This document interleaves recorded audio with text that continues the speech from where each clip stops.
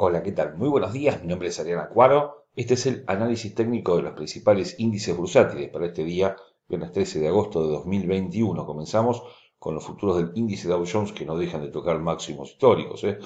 35.562 puntos para el índice con objetivos en 35.640, 35.760 y 35.900 puntos el objetivo de un FIBO invertido medido gráfico diario a la baja 35.000 360, 35.200 y 35.045 puntos. Una línea de tendencia alcista marca el movimiento del índice en estas horas, por ahora sin fisuras y con los indicadores que apuntan en todos los casos en dirección alcista. El Standard Poor's 500 cotiza a 4.462 puntos con una tendencia alcista de gráfico de 4 horas y objetivos en 4.475 y 4.495 puntos a la baja 4.438 y 4.419 puntos con un máximo histórico que en este momento está alcanzando y también guiado por una línea de tendencia alcista de corto plazo que por ahora está lejos de ser vulnerada y con indicadores que en, todos los casos también apuntan en dirección alcista, sosteniendo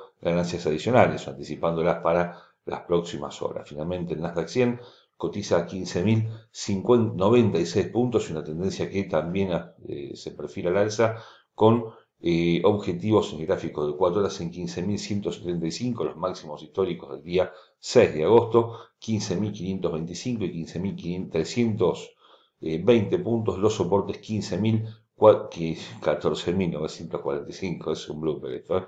y 14.890 puntos con indicadores que también en todos los casos apuntan al alza, en este caso el precio tiene una corta línea de tendencia que está vulnerando también dirección alcista y que justamente está sustentando ganancias adicionales para el índice en la sesión de hoy viernes. Señores, como siempre, tengan todos una excelente jornada de operaciones. Buen fin de semana y nos vemos el próximo lunes.